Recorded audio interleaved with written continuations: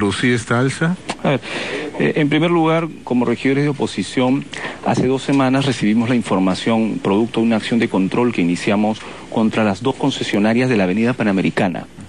La eh, Vías Nuevas de Lima, que la administra Odebrecht, y Vía Parque Rima, que la administra eh, la empresa OAS, o el consorcio brasileño OAS. Eh, de las dos, solamente una ha respondido. Y es una de las razones por las que estoy acá. La que ha respondido ha sido Odebrecht.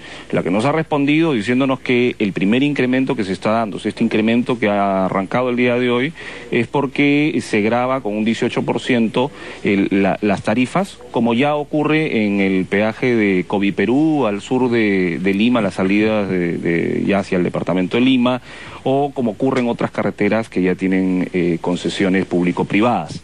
Eh, el cuestionamiento del exfuncionario de la administración del alcalde Castañeda es puramente político. Yo no voy a entrar en el tema político porque lo que me corresponde es exponer lo que como acción de fiscalización nosotros hemos supervisado en las últimas semanas y que creo que es lo serio.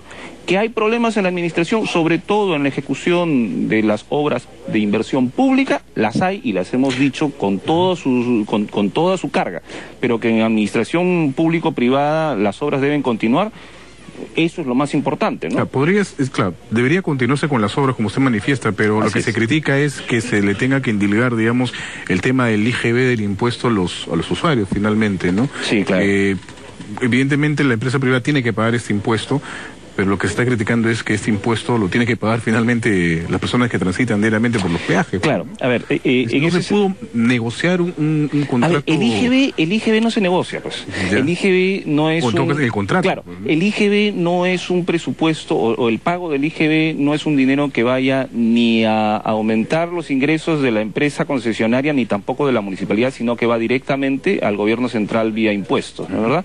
Entonces, eh, he escuchado a un congresista también del partido del, del señor Castañeda Locio eh, exigir que se bajen, que no se cobre este IGB. Me parece que está en sus manos el solicitar al gobierno central que se reinvierta, si es que se va a cobrar de todas maneras, como dispone la SUNAT, que se reinvierte esos 50 céntimos por cada vehículo que eh, va a transitar por la vía, que se reinvierte en la misma vía, en mejoras para, la, para los vecinos de Lima. Pero concretamente, eh, yo sí creo que, que, que las cosas que están bien eh, planteadas, claro, se puede hacer mejor y de hecho se puede hacer mejor. De hecho, esta, este proyecto, por ejemplo, de, de, de- de nuevas vías de Lima, llamado antes Línea Azul, fue planteado en la época del exalcalde Castañeda y me parece muy bueno que se haya recepcionado una iniciativa privada como esta.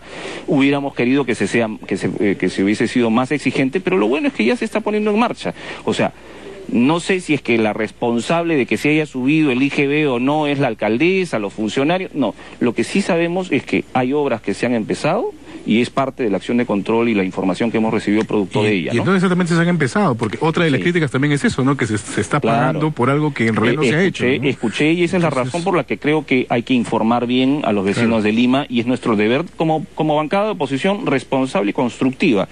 Entendemos que hace una o dos semanas ya empezaron las obras y como ya hemos supervisado, han, han empezado las obras en el puente Alipio Ponce, proyecto que antes de diciembre de este año va a estar terminado y que no está a cargo de la administración municipal, sino de la administración público-privada, que es la concesión que tiene. Así que me siento más tranquilo cuando sé que se le puede poner varias, eh, varias acciones de control a una empresa público-privada para que acelere ese tipo de obras y no se retrase. ¿Y qué cosa se va a hacer? Por ejemplo, en el puente Alipio Ponce se va a mejorar la zona de los paraderos para que no interrumpan el tránsito normal de los tres o cuatro carriles que hay en el puente por ida y por venida.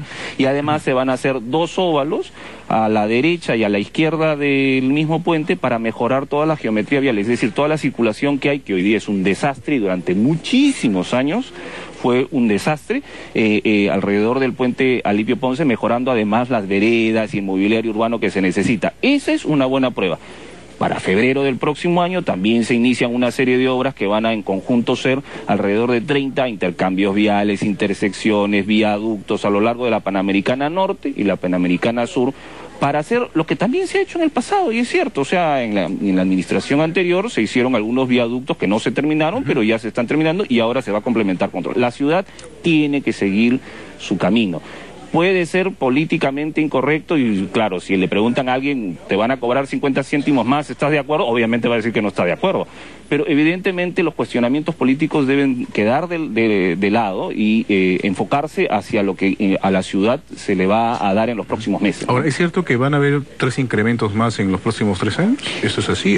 el, incremento, el incremento de ahora, que es un 50, por, eh, perdón, son 50 céntimos flat que se ha aplicado a todos los, a todos los puntos de recaudo que tiene tanto al norte como al sur, es el primer incremento, digamos, pero es por, por, el, por el impuesto general a las ventas.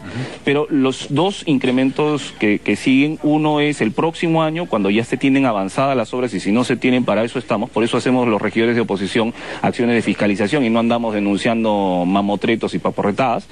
Eh, y eh, al terminar las obras también hay un, un, incremento similar de 50 céntimos, pero terminadas las obras con casi 30 intercambios ¿cuánto, cuánto hablando? ¿Cuatro o cinco soles eh, aproximadamente? Eh, entiendo que son dos incrementos más de 50 céntimos, pero que se van a dar a lo largo de tres años o tal vez cuatro cuando se vayan terminando la ejecución de las obras y se vayan entregando las obras, porque si no, no se